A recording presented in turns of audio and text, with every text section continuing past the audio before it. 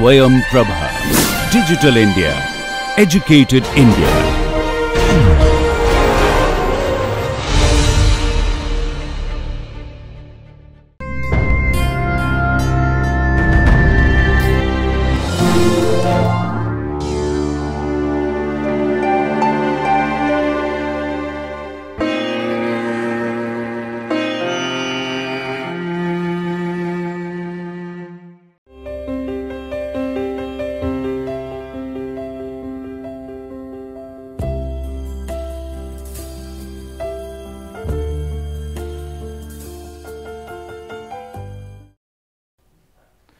Welcome back and uh, this is lecture number 44 and we will be talking about linear transformations and in particular we will also talk about the rank and nullity theorem for these linear transformations and also the kernel and image of uh, linear transformations.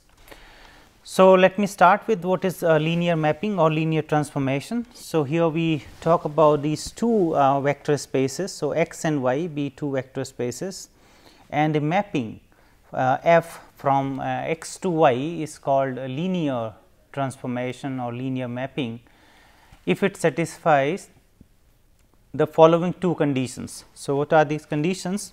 For any two vectors u and v from this vector space x, if we apply this uh, transformation f on u plus v, this should be equal to uh, f u and plus f v. So, that is one conditions for uh, out of these two conditions this is one which uh, is required to to say that this is a linear transformation. The second one for any scalar k here from the set of real numbers uh, and a vector and any vector u from this x this f should also satisfies that f of uh, the multiplication of this k scalar multiplication of this k to u. So, f k times u should be equal to k times f u. So, we have these two conditions uh, required for, for the linearity. One is this f u plus v must be equal to f u plus f v and the second condition we have that this map should also satisfies uh, that f k times u, k is a scalar number, k times u must be equal to k multiplied by f u.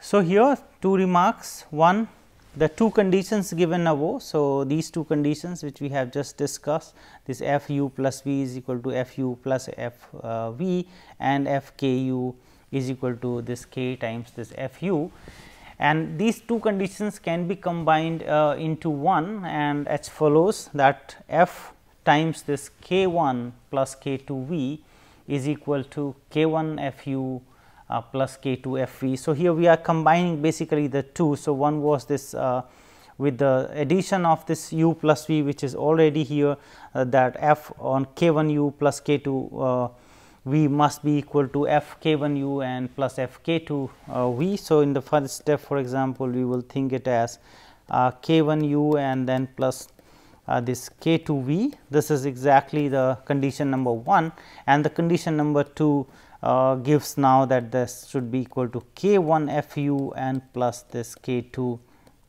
uh, f v.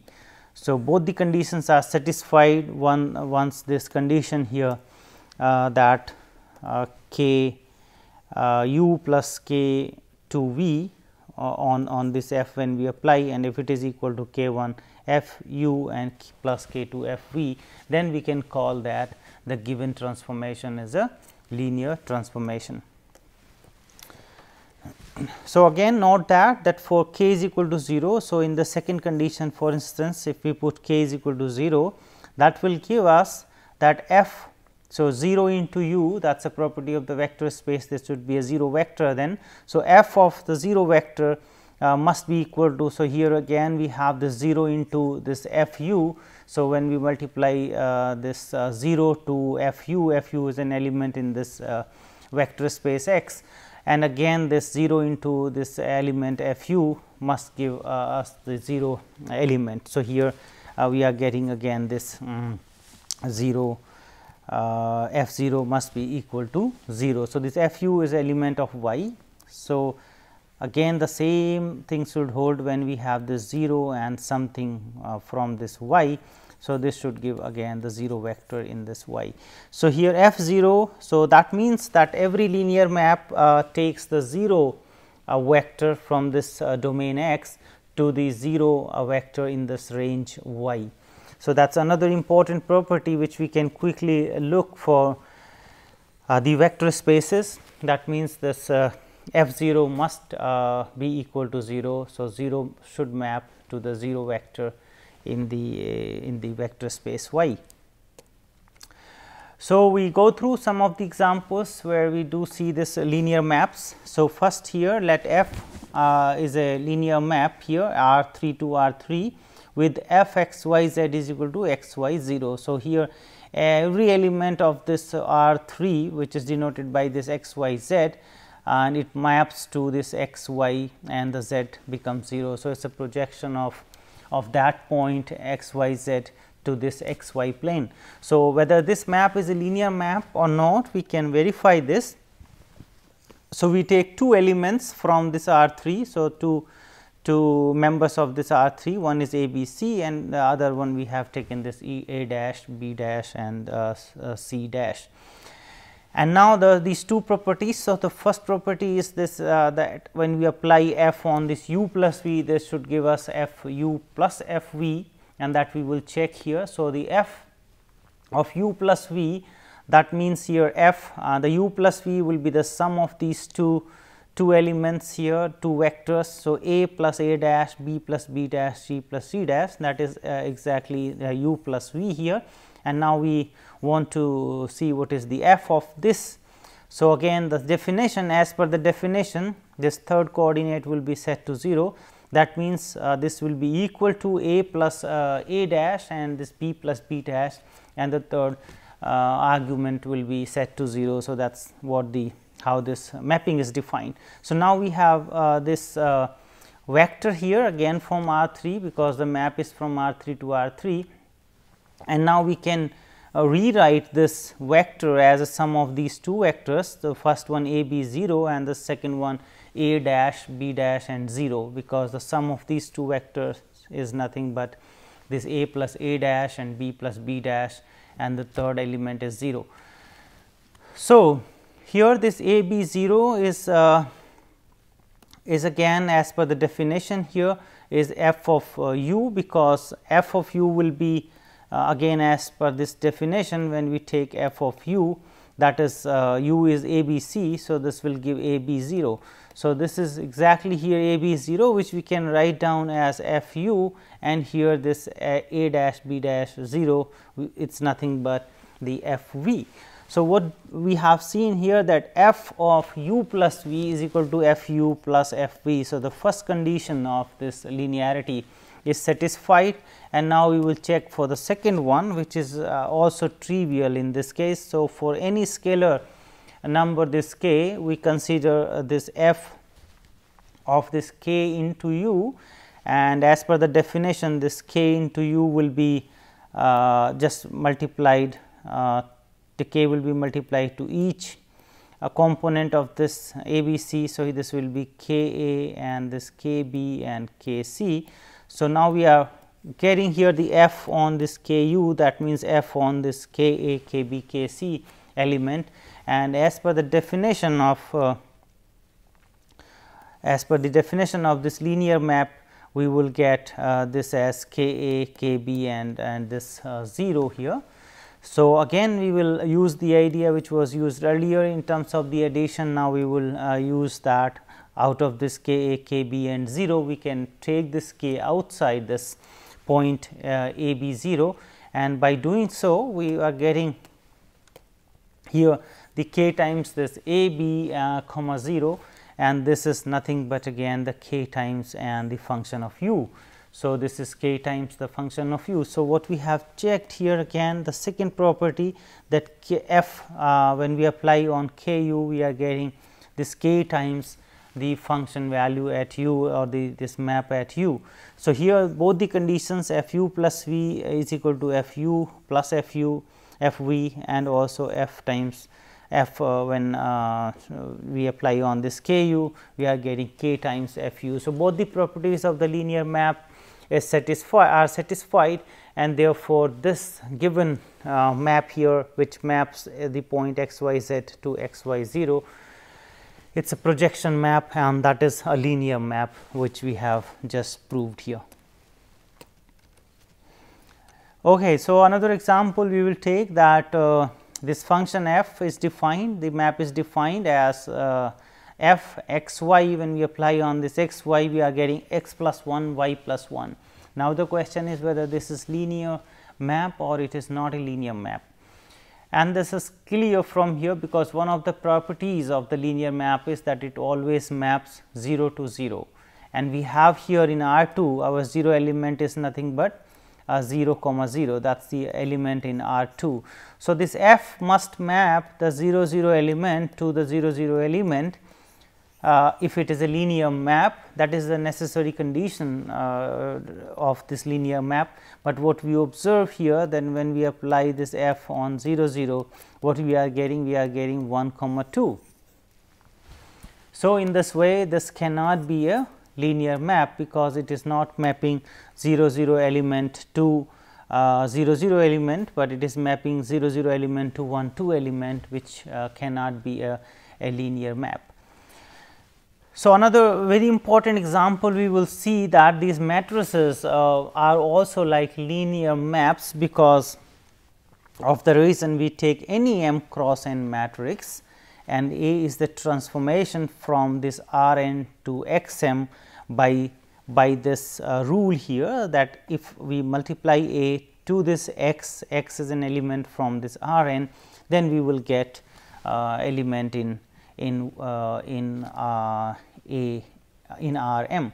So, here the A is is like a map from this R n to R m because it is taking by this uh, definition here A x. So, our function is like A x. So, this A x is mapping from this x which is from R n to, to y which is from R n uh, R m.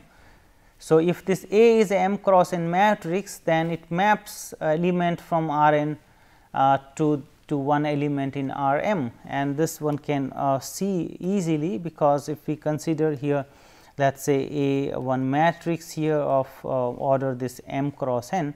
So, this is like a 1 1 a 1 2 and a 1 n a 2 1 a 2 2 and so on a 2 n and then this mth row. So, a m 1 a m 2 and we have a m n at the last element.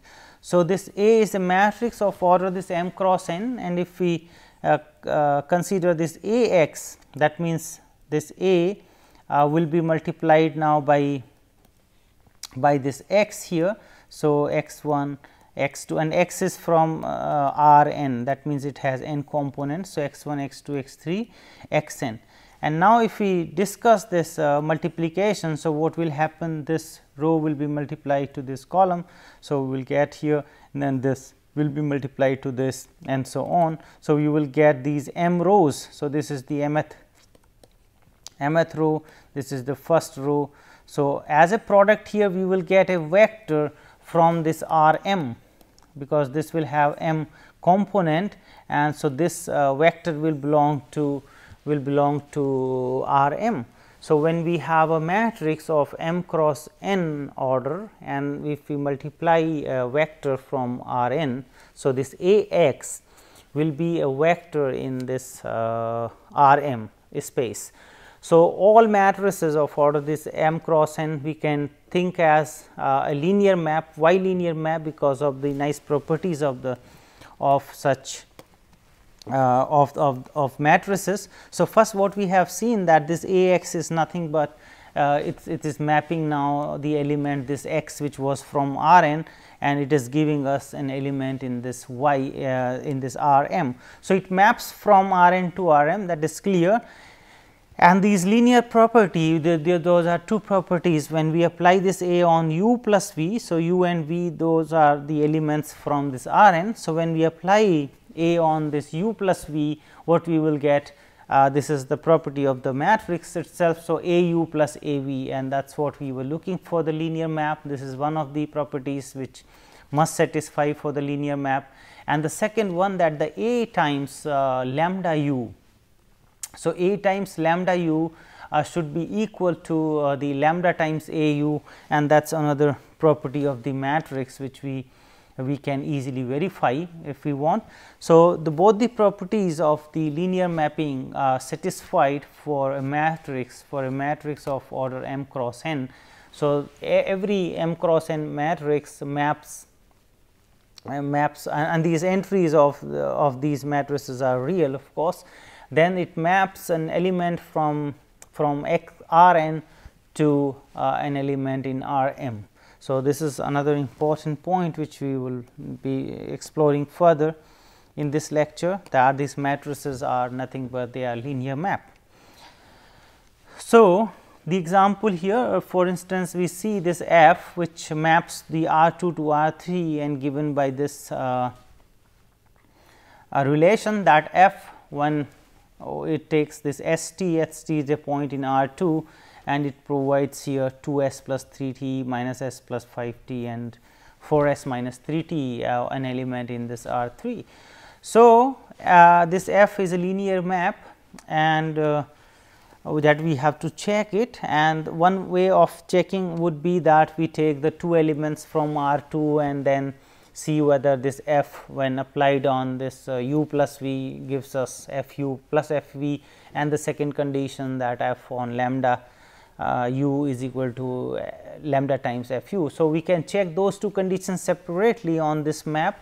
The other possibility what we will uh, in fact look here that this f s t we can also write down here that s uh, from this first uh, component we can take this out s and then we have 2 minus 1 and 4 2 minus 1 and 4 and plus this t uh, we can take common and then we have 3 5 minus 3. So, this here addition of these two vectors is exactly the given uh, vector here which uh, this f maps this s t to this given vector. So, here we have exactly the same vector, but we have breaked into two two vectors. And now, this uh, if, if we recall the properties of the matrix which we can put this in the form of matrix vector multiplication because S is multiplied to this column here, T is multiplied to this column here and that is exactly the property of the matrix vector multiplication. So, if we put these two columns as the uh, first and the second column of a matrix and then this S t again uh, a, a, column uh, vector there. So, that multiplication will exactly give uh, this S times this vector plus t times this vector meaning that we can write down this as this uh, matrix whose columns are these given vectors uh, 2 minus 1 4 and 3 5 minus 3 and this S t we can put again uh, as a column vector there. So, this is exactly when we look into this product here 2 times S plus 3 t that is the first member here minus S plus 5 t that is the second member and 4 S plus uh, minus this 3 t that is the third one. So, this given mapping is defined exactly by this uh, matrix uh, 2 minus 2 3 minus 1 5 4 minus 3.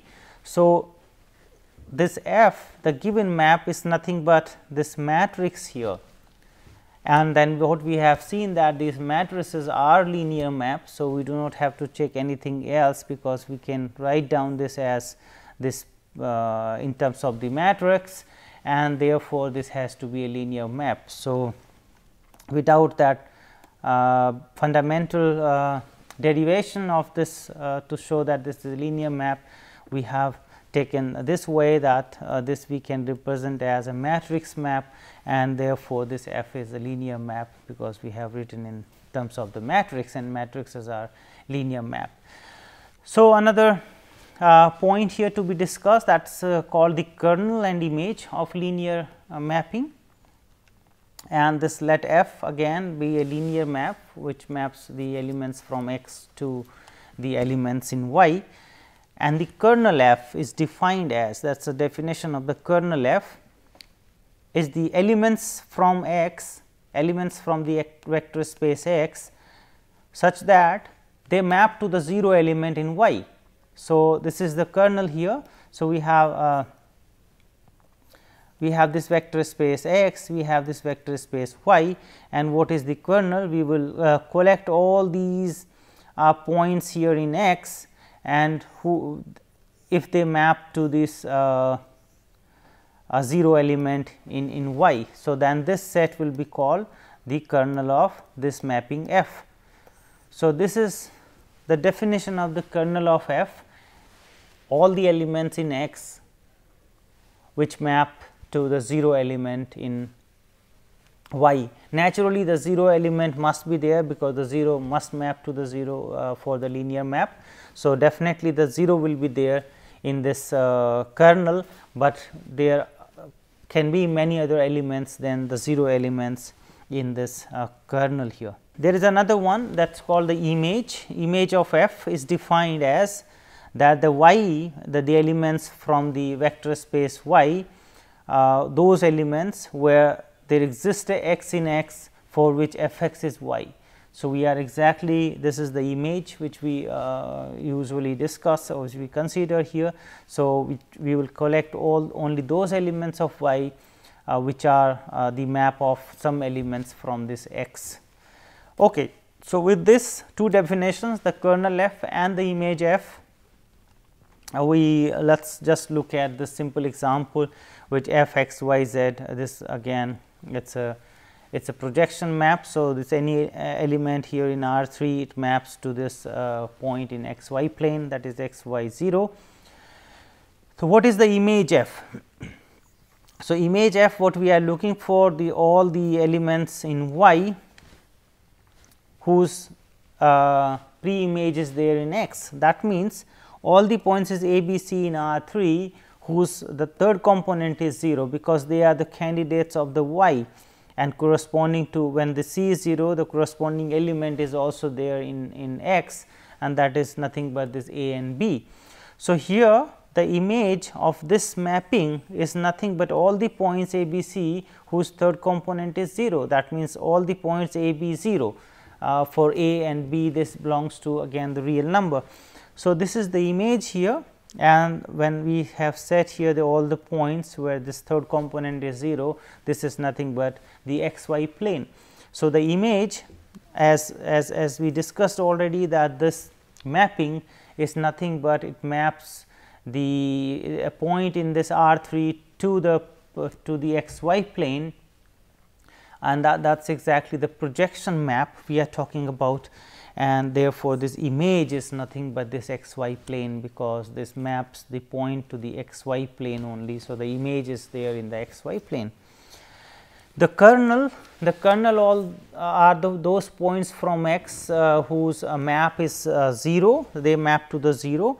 So, here as per the definition of this linear map any point here x y z it maps to x y and 0 the third will be set to 0. So, we want all those elements uh, whose uh, who, who uh, those elements in x whose map is as a 0 element. So, if we take a point here with a and b 0, so a and b 0 then and when we apply the so the point is here that if we apply uh, this map where or to any element where we have taken this first 0 and the second component 0. So, this will be nothing but uh, this will be the 0 0 0 element. So, that is the 0 element in this R 3. So, we are looking for those uh, those points in, in, in this R 3 because their element uh, their image is nothing but the 0 element in y. So, this will form the kernel of this of this uh, mapping and uh, this is exactly uh, the, the z axis because on the z axis the x is 0 and y is 0. So, the whole z axis will be mapped to map to this uh, 0 element uh, in R 3. and that is natural here because the z axis when we take the, the, the projection of the z axis that is nothing but the origin that is means a 0 element in R 3.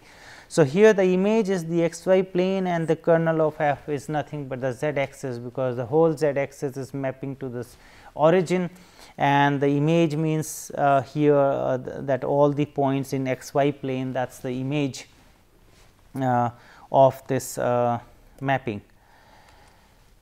So, there is a nice theorem here that f uh, x to y be a linear mapping then the kernel of f. So, this kernel of f and is a subspace of x and also image of f is a subspace of x.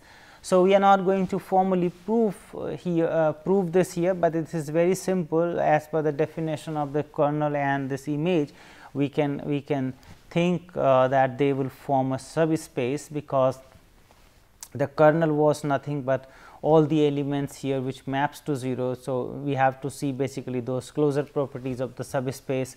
So, if you take any two elements uh, and they map to the 0. So, their sum will also map to the 0. So, the sum this addition will be also also belong to the same uh, kernel here and similarly uh, for the image also we can consider exactly the exactly the same consideration. So, here the, the point is that this kernel and the image they form subspace and there is another nice theorem which will be used later that suppose this x 1 x 2 x 3 x m span of vector space x and suppose this f is a linear map then their image of these uh, points here or these vectors from x which is span the vector space x then this f x 1 f x 2 f x m will also span will span the image f. So, that is a that, that's a very nice point here if we know the vectors from this space x uh, and we know that these vectors uh, span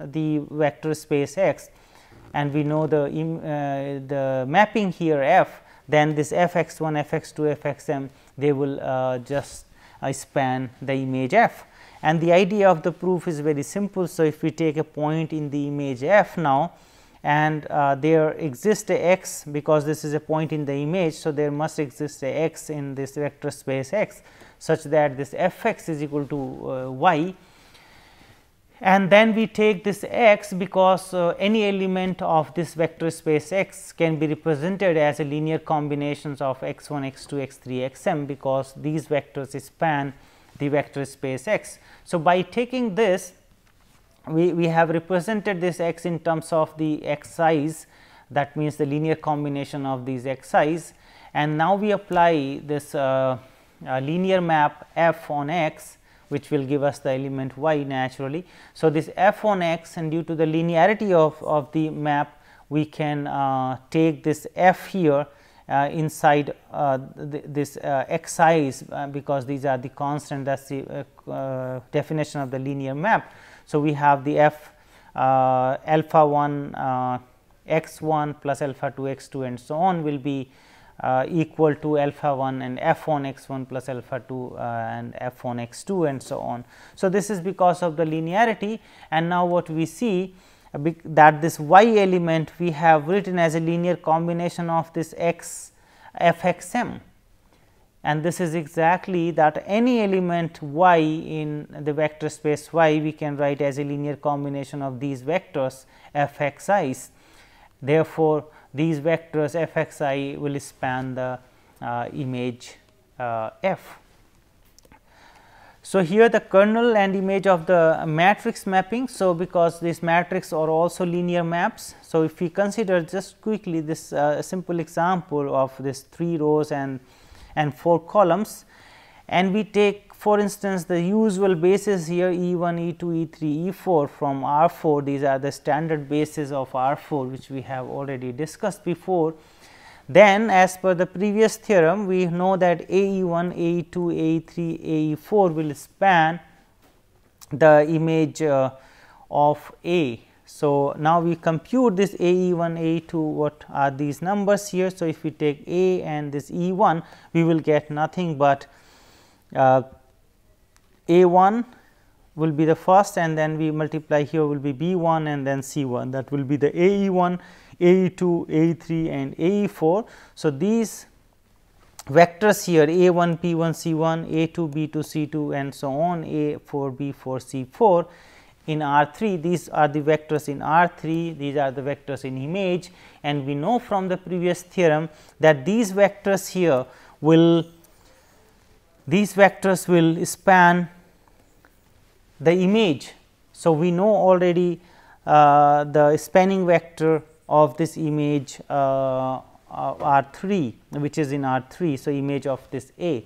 So, what are these? These are precisely the columns here. These are the columns of this given uh, matrix. So, the image is nothing but image is nothing but uh, the uh, column the, the column space the column space is exactly uh, the span of these uh, these columns that is the column space we have already discussed and what we have observed that the image is nothing but the span of these columns. So, thus the image A is precisely the column space of A. So, when we talk about the the matrices here the column space is nothing but the uh, they will span the column space is nothing but the image of A.